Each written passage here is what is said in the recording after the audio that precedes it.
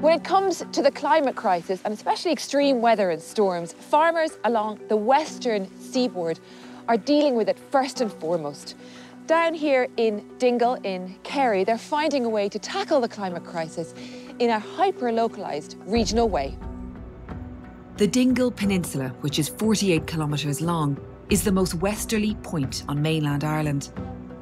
Farmers here have long dealt with difficult weather but climate change is making it altogether more challenging. Siobhan Prendergast farms sheep on the peninsula with her husband and family. To what extent have you felt the impact of the climate crisis and the extreme weather? In the last decade or 15 years, even, it's the intensity of the weather that's very noticeable. When the rain comes, you get deluges of rain. When the wind comes, we're getting such intense storm that how to protect ourselves is becoming more and more problematic. There's definitely a huge amount of erosion. Here, a lot of this land in my, my father and mother-in-law's time would have been farmed. There was a road running along by the fence. I mean, that's extraordinary, yeah. Quite often we have to go and rescue lambs that have gone down the cliff because you just don't realise how much erosion is going on underneath. This is getting worse and worse annually. How are we going to protect ourselves in another five or 10 years' time? What sort of weather are we going to be having?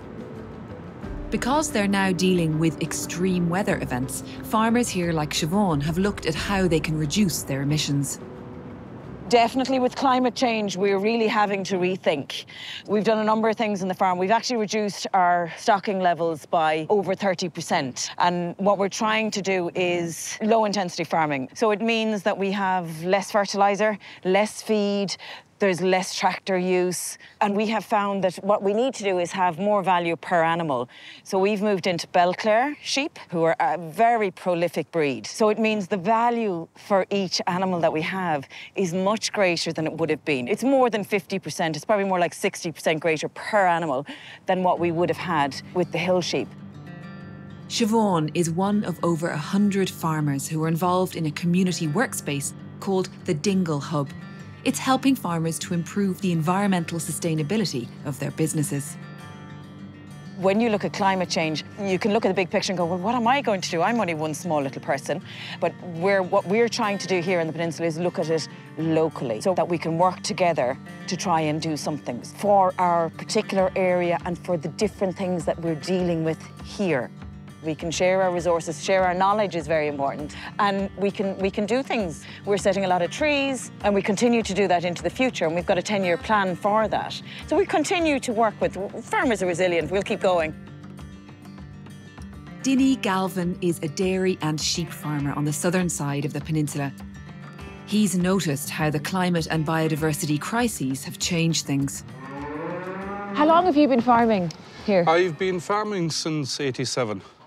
I was 16, my dad passed away at the time, so all of a sudden I took over, you know. Yeah, it's very young to start. A young age, yeah, yeah, yeah indeed, yeah. yeah. There was about 30 ewes right. and uh, eight dairy cows.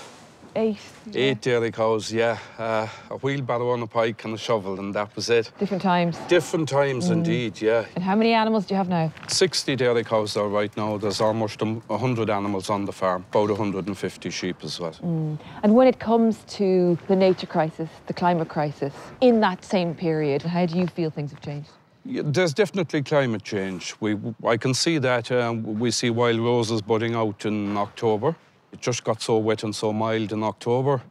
We see swans coming onto the farm, which I've never seen in my youth. This far west to see swans like is, is very unusual. And the bees, the bees would be the big thing with me. You'd see wild bees hanging from the eaves of the houses and that. I haven't seen that in the most of 20 years now. And what about the extremity of weather? It's unbelievable, yeah. We've seen quite extremes. 12 and 13, we've seen the wettest summers we've ever seen. Mm to the point that you couldn't even cut the silage, you know, for the animals for the winter. Mm. So things are changing, definitely changing. When he's not farming, Dinny works at the Dingle Hub as their energy and agricultural liaison officer. He's working with farmers here to help them become more energy efficient. I have an app on my phone. I can see exactly what it's costing me to milk the cows, heat the water, do everything on the farm. And one of the studies uh, uh, was a survey of 100 dairy farmers. and we found we were uh, using a million euros worth of ag diesel in a 12-month period. That was frightening. So that is helping us look at AD, anaerobic digestion, where we could convert grass and slurry, with more so slurry for uh, fuel.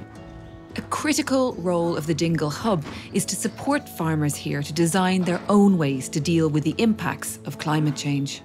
If you lose the connection the farmers have with food producing and the land, it's, it's not as simple as put on a pair of wellies and go out and I'm going to be a mountain sheep farmer and I'm going to be a dairy farmer. It's, things need to be handed from, from generation to generation.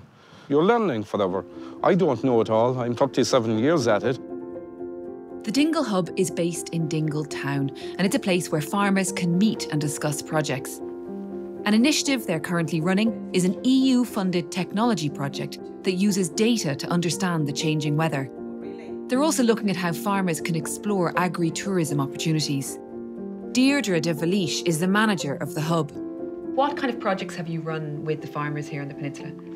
So we're taking a look at uh, weather stations on 30 farms. It's an EU project called the Ploutos Project, and that's brought together farmers to see how they can make decisions based on uh, data coming from, from sensors. But it's also looking at exploring diversification opportunities. How do we share or increase the value of that produce on the peninsula? And looking at farming in a sustainable way and an economically viable way. The hub has reached out to the farming community, and if we can progress the area and progress the food, it's all helping us make better decisions. There's also an urgency about the action, isn't there? It can't take too long because we just don't have the time. Oh, absolutely. But I think where the addition of the hub comes in, it means that we can move faster, we can move quicker, we move together. And it's also opening our eyes to what we can do and what will work for us locally. And I think that's where the key is that we can actually make a huge difference by working together in our small local area, using what we have here and the hub as our focal point.